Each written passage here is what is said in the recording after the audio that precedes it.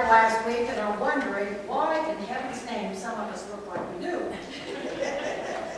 I tried very hard this morning to get Marv to wear matching wigs with me. But he told me he already had enough hair. You see, today is Holy Humor Sunday. It's traditionally a Sunday that's celebrated week after Easter. And it's celebrated because from the earliest time in the church, people said the biggest joke that God ever played on the devil was to raise Jesus from the dead. And so that on that day, many years during the Middle Ages and the Renaissance times, and even in times closer to our time, people would go out on that day and have picnics and play games and enjoy one another's company to celebrate this season, this Easter season. And why are we singing Easter hymns? Well, again, in case you didn't know it, Easter is not one day, it is six weeks. So we have five more weeks of Easter in the Eastertide season as we celebrate together. Now, I asked you to bring some jokes along, so it's time for you. When you go to tell your jokes, stand up and speak out loud. So who has a joke to share with us this morning? Oh, you're so, I do? they're up there, wow. Okay, I got two short ones. I said, uh, what do you call a sleepwalking nun? A Roman Catholic. How do you know atoms are Catholic? They have mass. How do you know atoms are Catholic if you didn't hear that? They have mass. Another joke. I have one. Hmm. Wow. Many, many years ago, I went to the doctor and he prescribed me with a diagnosis that is non-addictive, mood-altering, and it's called music. The common side effects include, but are not limited to, uncontrolled head bobbing, toe tapping, finger snapping, humming, selective hearing impairment, and persistent melody flashbacks. Ask your doctor if music is a correct diagnosis for you.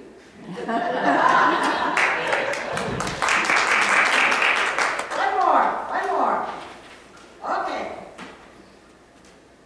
So, this- the Sunday school teacher was teaching class, and, uh, and she was asking questions like, you know, who's Jesus' mom, you know, and, and little Johnny, he rose his hand.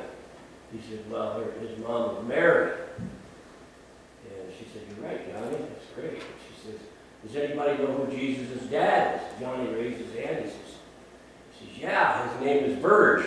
And the teacher goes, Verge, how would you think, why would you think that Jesus' dad is virgin? He goes, well, they're always talking about the Virgin Mary.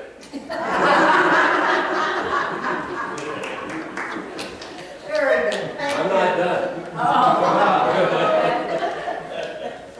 So, so the teacher says, well, does any of you kids want to go to heaven? They all raise their hand except for, except for Johnny. He said, Johnny, don't you want to go to heaven? He goes, well, not right now. All right, now. Okay, together, let us offer to God our prayer of confession, confessing that sometimes we feel foolish and don't want to feel foolish. Together we say, Gracious God, we confess that sometimes we find ourselves grumpy, gloomy, and out of sorts.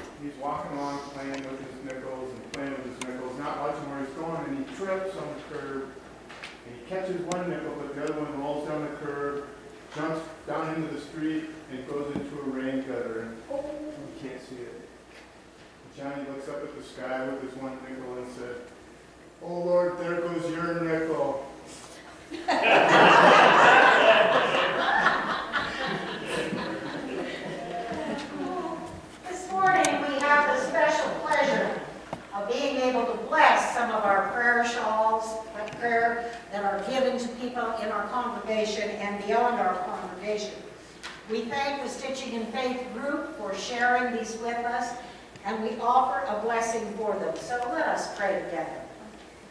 Lord God, we thank you for the skills of those who have made these shawls. We ask you to bless them so that you know that our prayers go with them, that each of us blesses the person who receives them. Lord, we know that you carry our prayers and that you give our love. We ask you as we bless these, that they may bring comfort and hope and peace to those who wear them. Through Christ we pray. Amen. Is somebody going to present one this morning? Darlene, I thought that was you.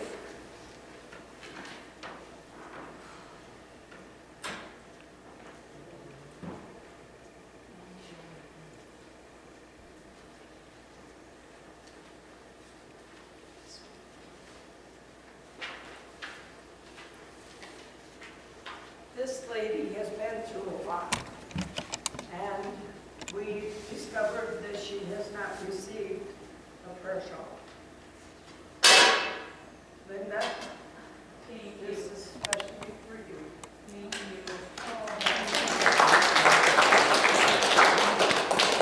And with those shawls goes the blessing of God's healing and the prayers of all of us that surround you.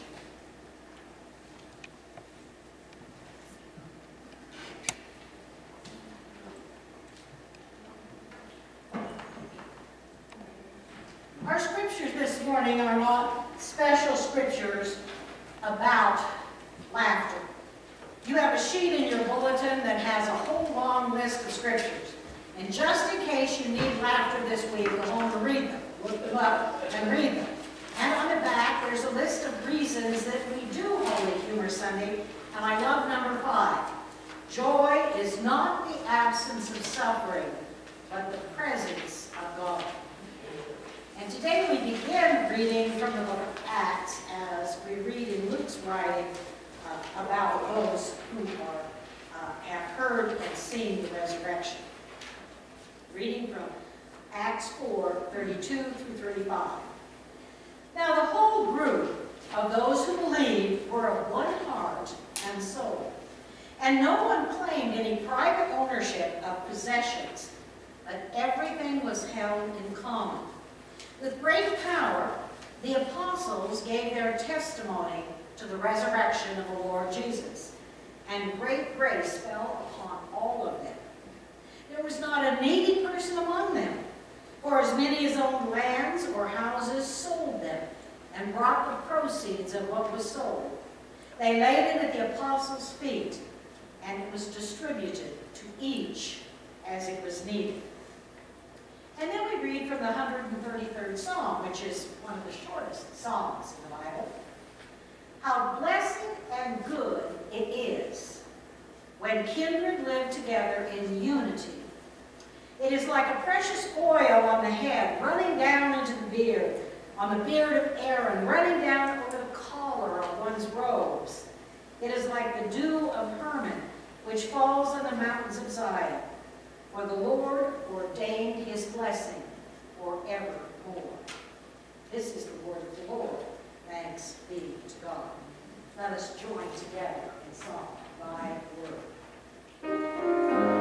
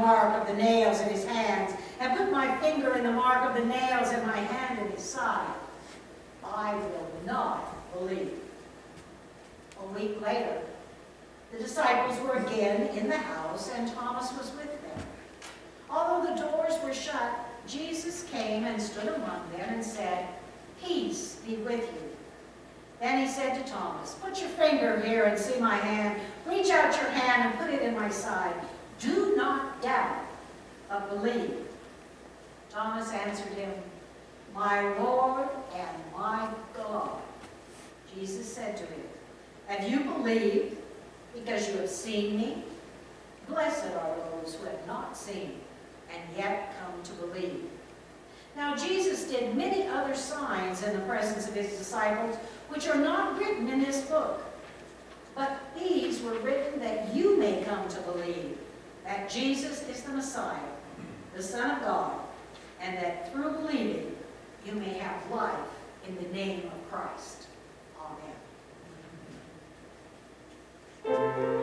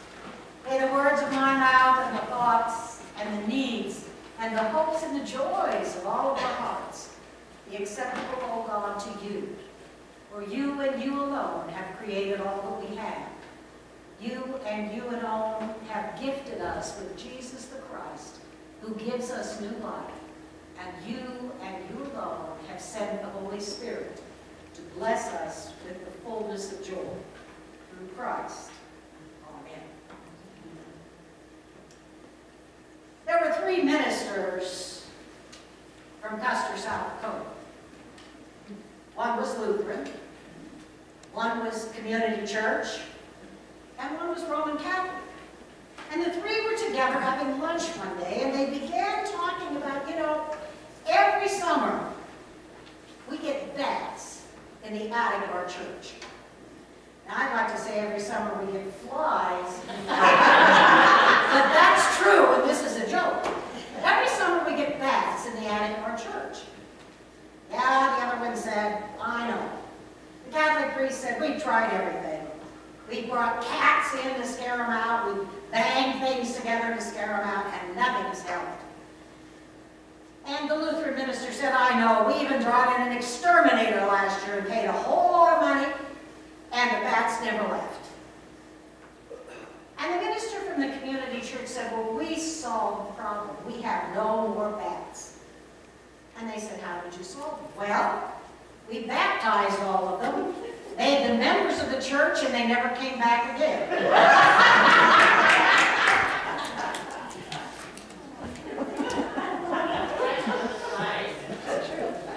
I'll follow up on, on the Sunday school teacher. Little boy went home from Sunday school one day, and some of you may have heard this, but that's okay, it's good for a laugh. A little boy went home from Sunday school, and his mother said, what did you study in Sunday school today? He said, our teacher told us the story of Moses leading his people across the Red Sea into the promised land. Well, tell me the story, mother said. Well, the little boy said, Moses got all of his soldiers together, and the guerrilla forces woke up the people in the middle of the night and led them out to the Red Sea. But before they got to the Red Sea, Moses had radioed ahead to his engineers, and they built a bridge all the way across the Red Sea. And as soon as the people of Israel got across the Red Sea, Moses called the bombers, and they came in, and just as the Pharaoh and his armies were getting on the bridge, the bombers bombed the bridge and destroyed them completely. And when they were on dry land, Moses, ra- Moses radioed ahead again to his engineers, and they built a paved highway all the way across the desert into the promised land. Now his mother thought for a minute, she said, I know Bible stories have changed.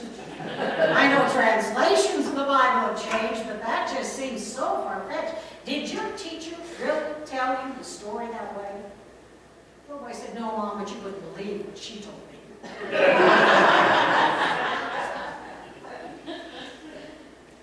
There was a man who flopped down next to a minister, next to a priest on the subway in, in New York. And the man smelled like a distillery. The man's tie was stained, his face was plastered with red lipstick, and a half-empty bottle of gin was sticking in his torn coat. He opened a newspaper and began to read. A few minutes later, he turned to the priest and said, Father, what causes arthritis? Well, the priest said, it's caused by loose living, being with cheap, wicked women, having too much alcohol, and a contempt for your fellow human beings. Wow, the drunk said, and he turned to his paper. The priest, thinking about what he said, maybe thought he'd gone too far, and he nudged the guy and said, you know, I'm sorry, I didn't mean to come on so strong. How long have you had arthritis? And the man replied, I don't have arthritis, I just read in the paper that the Pope does.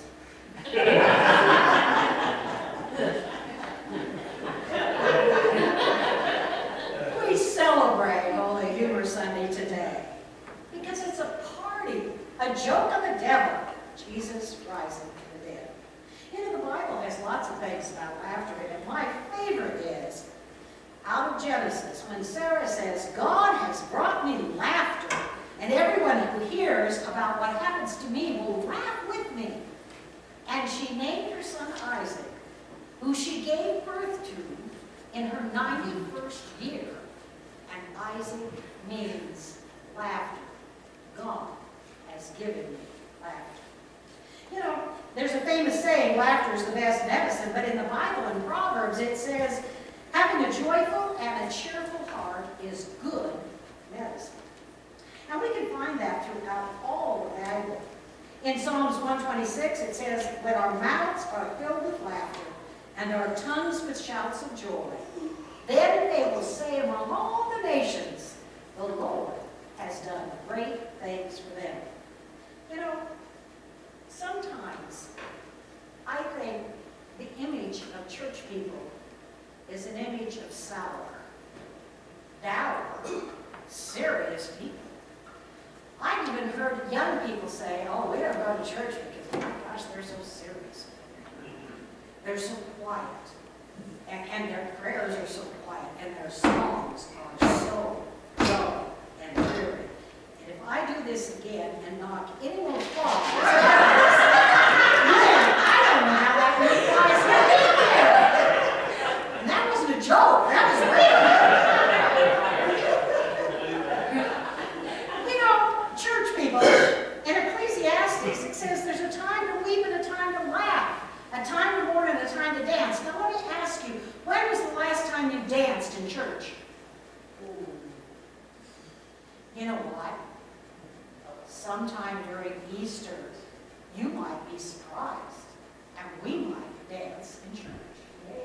Because God invites us to do that. And in Job, after Job has suffered all of the trials and tribulations, all of the illnesses, and his friends have tried to give him all kinds of advice,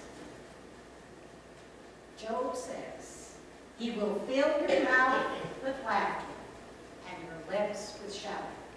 I can't imagine when I'm at the sickest point of my life, when I'm at the most depressed point of my life, when I'm grieving the hardest of my life, that someone says to me, Yes, God will fill your heart with laughter again.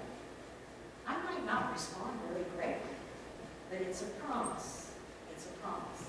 And so today we read the scripture about Thomas, and honestly, I wish we could act that story out because that's a really funny story.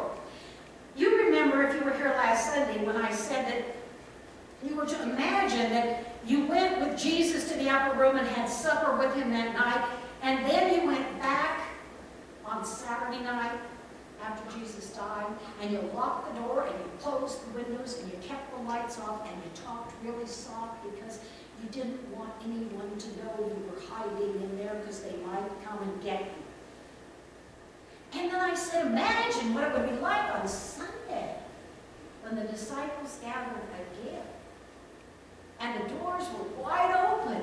Jesus entered through that locked door and told his disciples that peace was to be with them.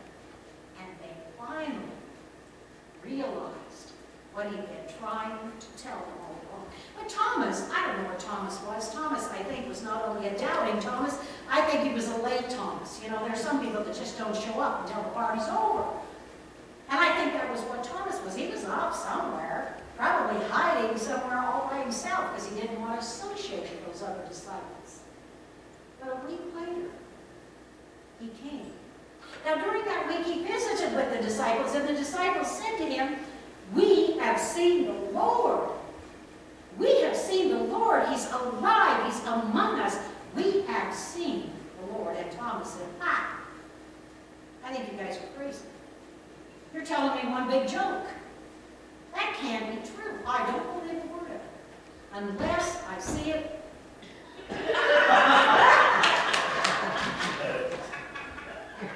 I think they're multiplying.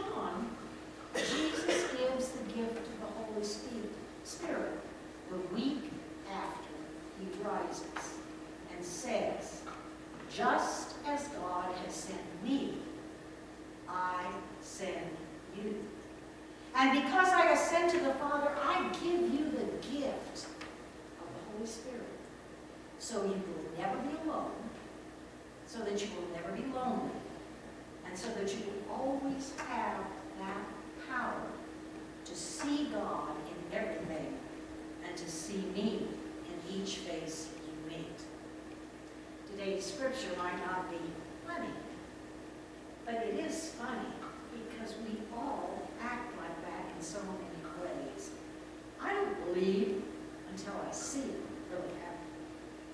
And so we laugh at Thomas and we laugh again. Do you know what Jonah's family told him when he told them about what happened before he reached Nineveh?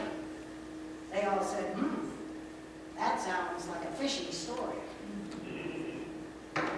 And what did Adams say? And I think I heard somebody already say this, but I'm going to say it again. What did Adam say when he was asked what his favorite holiday was? He said Christmas Eve. And what kind of car would Jesus Christ drive? A Chrysler. And how do we know what kind of vehicle the disciples drove? It says in the scripture that they were all in one accord.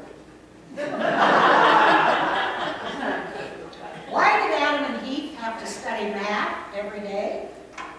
Because God told them to be fruitful and multiply. Does somebody else have another joke? I know somebody brought some. Nobody else?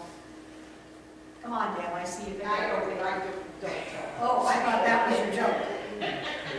I was talking with the minister from the Lutheran church last night, we were at a funeral from Lutheran church, and I said, well, you got your jokes all ready for tomorrow, and she said, I can't tell a joke. She said, I say the first line, and then I start giggling so hard, I never get to the punchline. Okay, So she I- said, I grabbed Phil Lewis, he's a retired pastor there, he's gonna tell all the jokes, because I can't do it. You know, our culture does not take laughter and joy as seriously as it should. In the Navajo culture, they have a ceremony called the first laugh. Their child is viewed as a gift, an ultimate gift that can never be abused or hurt. And the first laugh ceremony ensures that the child is constantly watched over. So from the time they're born, the child is never left alone, and there are usually two or three people watching that child as it's kept in a cradle until that child laughs for the first time. And this moment marks the birth of that child as a social and community being. And there is a celebration. And the person who birthed that child first has a party for everybody else in the tribe. Science is telling us in medicine that laughter is not just a frivolous thing. There are many studies been conducted, and laughter is good for our health. It relieves stress. It actually changes your organs when you laugh. I remember Norman Cousins, who had a massive heart attack early in his life. And he had read somebody that laughed somewhere that laughter was good medicine. So while he was in the hospital, he had his friends bring him, if you guys can remember, uh, you know, uh, VHS tapes, you know, that was a long time ago. He had his friends bringing VHS tapes and bringing a player, and he watched I Love Lucy and the Three Stooges and every, all day long, that's all he watched, and he laughed. Because he truly believed that laughter was healing. Laughter enhances your intake of oxygen-rich air. It stimulates your heart, your lungs, and your muscles. It increases the endorphins that are released in your brain. It activates your stress response, cools that response down. It can increase and then decrease your heart and blood pressure, which gives you a good, relaxing feeling. But laughter, laughter isn't just a quick pick-me-up. If you continue to make laughter an important part of your life, it improves your immune system, it relieves it increases the personal satisfaction in your own life, and increases your mood.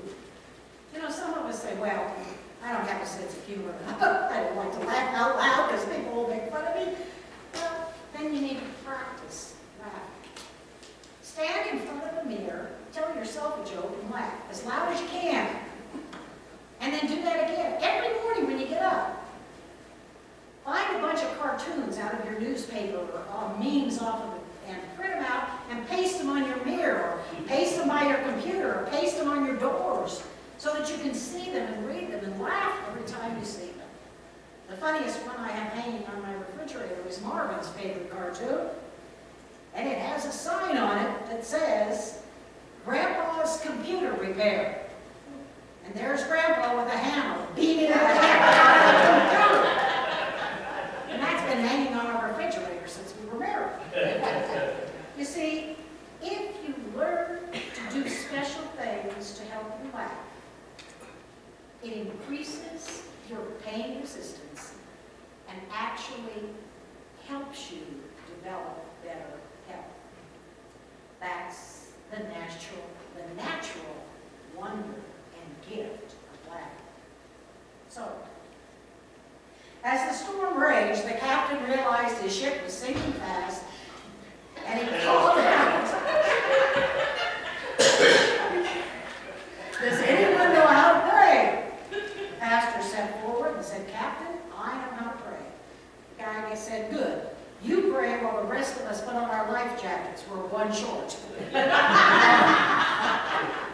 Pastor in the middle of the sermon, and this would never have been me, because if somebody falls asleep in the middle of my sermon, I figure that's what they need most is sleep. He noticed a man fell asleep with his head on his wife's shoulder, and he hollered at his wife, Wake up your husband! She yelled back, You put him to sleep, you wake him up.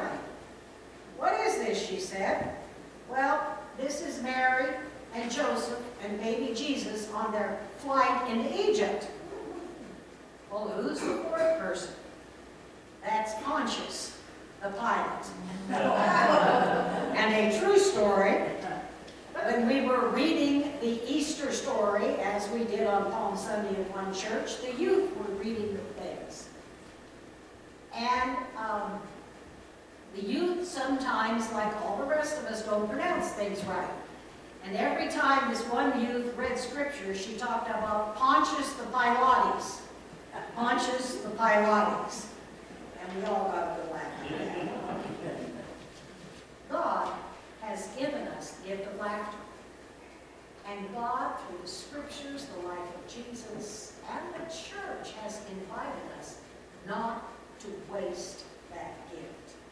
To God be the glory in the name of Jesus the Christ. Amen. Let us stand and sing together, He lives.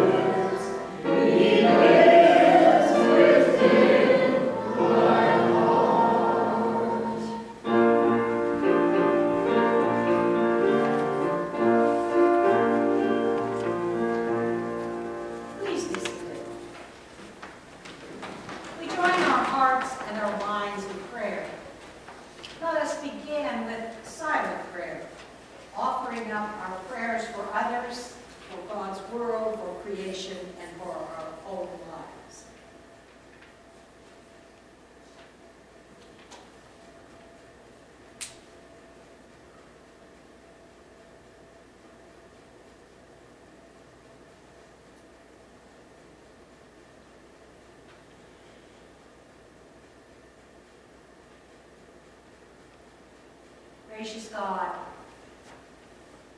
if we were to list all the concerns we have, we would be here for the next week. If we were to list all the joys and gifts that you've blessed us with, we would be here for the next month. God, help us to always remember that the joys and the blessings outweigh the concerns. Even though our newspapers, our television, and even our hearts are filled with concerns, your love and your joy tells us that nothing can separate us from that love and the gift of your power and healing. We pray for healing for all of those who are ill in body, body, mind, spirit, or soul. We pray for those who have been hospitalized. We pray for those who have died and for those who continue to grieve over the ones that they've lost. We pray for those who are in prison and who find themselves there because of their own acts or because of political reasons. We pray for those who have died in Ukraine and Gaza and Israel, but especially today for the aid workers who were murdered in Gaza. And we thank you, God, that your power extends to their families. We pray, God, that you will extend your power and influence upon those who make decisions in Israel, in Russia, in the Ukraine, and in the United States.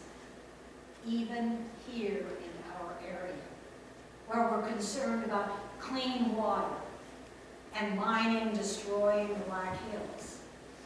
We pray, God, because we know that you hear all of our prayers. You know them before we pray, but you know our need to remind ourselves of those things as we give them out of our own hands into you. All of this we pray in the name of Jesus the Christ, who taught us to pray together. Our Father, who art in heaven, hallowed be thy name. Thy kingdom come, thy will be done, on earth as it is in heaven. Give us this day our daily bread, us trespasses, as we forgive those who trespass against us. And lead us not into temptation, but deliver us from evil. For thine is the kingdom, and the power, and the glory forever. Amen. There was a little boy who grew up in a church that in the Lord's Prayer, instead of saying trespasses, they said debts.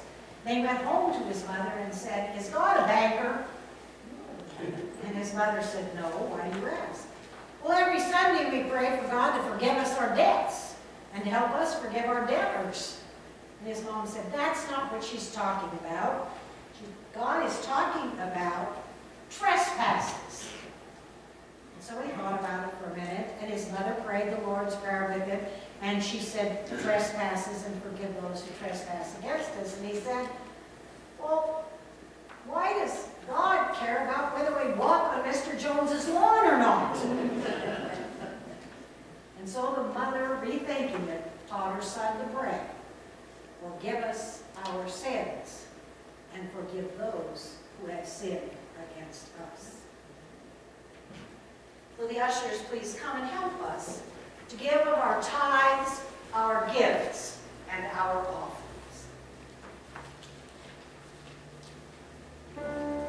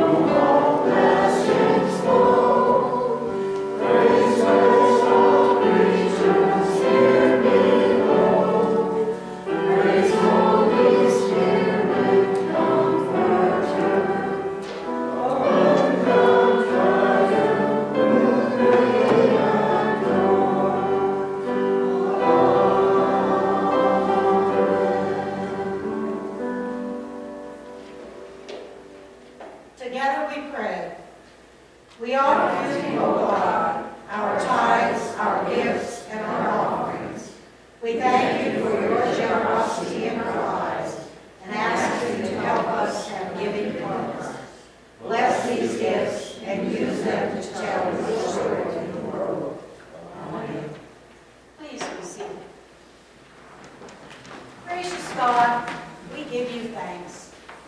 We give you thanks that you have given us this beautiful world with trees and mountains and rivers, with plains and grass, with, with all kinds of animals and all kinds of plants. We thank you, God, for the diversity that you have planned. We thank you for the diversity you have planned in creating the people on this planet. And we thank you for all of the universe, the stars, the heavens, the sun, and the moon. But most of all, we thank you for the stories that have been told to us about your presence in the scriptures that we share each day and each week. And we thank you for Jesus Christ, our Lord, who was died, was buried, and was raised on the third day, and who now is with you in heaven, guiding and gifting us. We remember that on the night before Jesus was betrayed and crucified, he took the bread and he broke it. And he gave it to his disciples and he said, Eat from this, all of you. This is my body which is broken for you. Do this in remembrance of me. And when the meal had ended, Jesus took the cup and he gave thanks to you, O God. And he gave it to the disciples and said, Drink from this, all of you. This is my blood which is poured out for you and for many for the forgiveness of sins. Do this as oft as you can in remembrance of me. And so in remembrance of you, O Lord, we come to receive these gifts you have given. We ask you to send the power of your Holy Spirit upon these gifts and bless them, that for us they may be the blood and body of Jesus, that we may take into ourselves and share as we share Christ with others. Bless each person here and let the power of your Holy Spirit fall upon them, that they too may go forth to tell the story in laughter, in love, and in tears that each person they meet. And in them might we each see face of Jesus, who invites us to his table today. All of this we pray in the name of Jesus. Amen. This is the table of Jesus Christ. It's not the table of the community church or of any denomination. It's not really even the table of Christianity because Christianity didn't exist until over 100 to 150 years after Jesus died. It's the table of Jesus Christ. And it is Christ that invites you to this table. We will ask you to come forward, to receive the bread and to eat it, to receive the cup and to drink it, and then to go back to your seats. We ask you to come down the center aisle, go back around the side aisle if you can. So please, will those who are helping serve and come forward, and we will give, our- we will share in communion